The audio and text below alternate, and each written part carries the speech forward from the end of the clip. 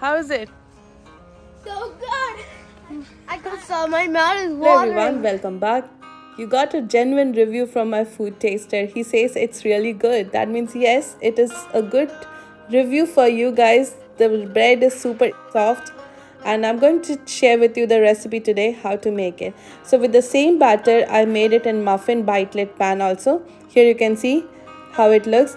Now let's see the ingredient used here to make this three ingredient mango bread. So I'm putting 2 cups of self-rising flour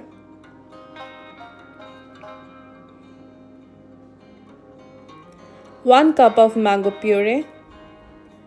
You can substitute with any fruits here, even sweet potato I have put here or pumpkin puree, anything you can add here.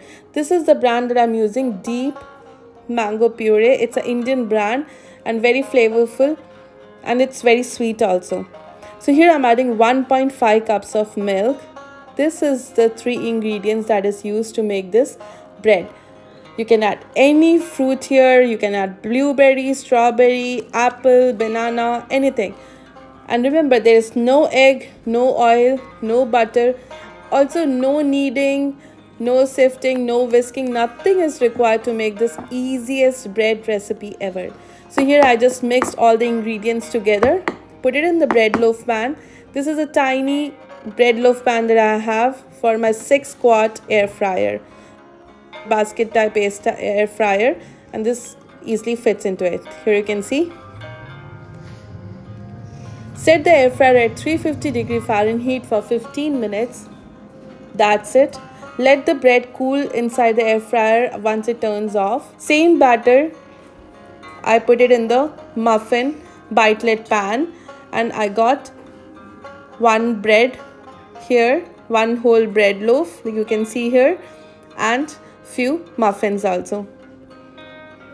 Or you can make two breads with this bread batter. Look at the gorgeous brown bread the perfect mango bread ever we can make in our air fryer. And the magical thing is it's just three ingredient and instant bread recipe we can make. So here you can see how good it looks. Super soft fluffy bread. The bread is still hot when i'm cutting it. And look how beautiful it looks. Sweet mango bread look at those corners of the bread. It looks so good.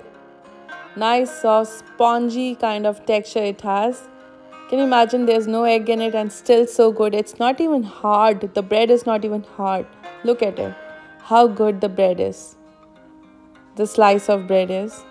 And here you can see perfect mango bread is ready. Now I'll show you the muffin one. Let's see. This is how it has a nice brown texture on top.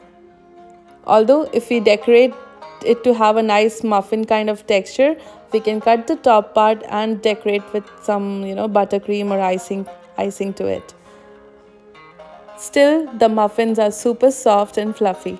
There is no uh, you know there's no loss of texture in it it is so soft super fluffy muffins ever how it looks? You can put the batter in bundant pan or muffin bitelets like i did or loaf pan. Same texture for each pans. It will be soft and spongy.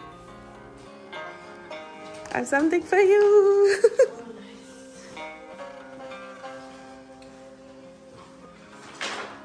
So what's this? This is mango bread. It's so good. It has the flavor of bread and mango together. Yeah, it's and not- there is no like- sugar. I no sugar and it's so flavorful. So much flavor. Double bread and mango. And then also the honey adds emphasizes the taste. is it soft? Can you show how it looks? It's so soft. And fluffy? Yeah, look how fluffy it is. and Oh yeah. up. Will my viewers like it? Definitely. This is Really? So good. So good. No oil, no egg. yeah, no butter. What? yeah. No sugar? no sugar. What else is not there? Huh? Flour? No flour. flour. Flour is there. Self-rising flour I add to it. What kind? Uh, baking soda? No baking soda, no baking powder. Do put no more? baking powder. Guys, I want some more. I'll take some to school. I'll save some for school tomorrow too. Okay? Oh, you want for lunch tomorrow? Yeah. oh my god, you loved it.